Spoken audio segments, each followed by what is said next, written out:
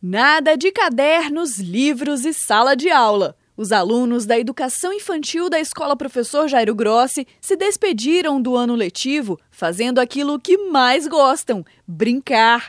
Essa foi a festa de conclusão do ciclo básico, já que daqui a pouquinho eles ingressam no ensino fundamental. É um momento só deles, né, onde tem uma festa que é diversão, criatividade não falta, né? E esse ano nós escolhemos o Fantástico Mundo do segundo período. Foram três turmas participando, cerca de 60 alunos entre 4 e 5 anos de idade.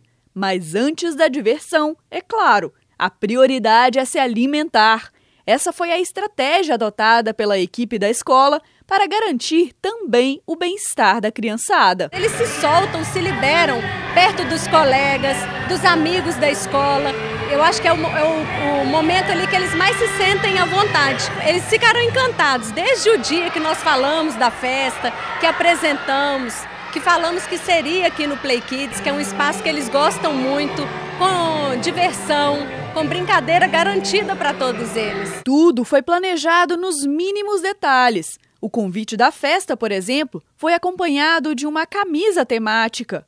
Super-Homem para os baixinhos e Mulher Maravilha para as garotas. Até os professores entraram no clima. Ah, o coração bate forte e ao mesmo tempo apertado, né? Porque é mais uma turma que a gente está entregando.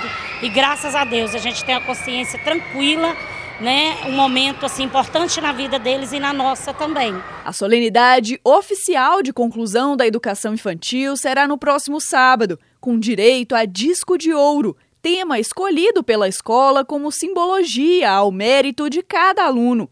Afinal, venceram mais uma etapa da vida. Enquanto isso, a festa por aqui continua.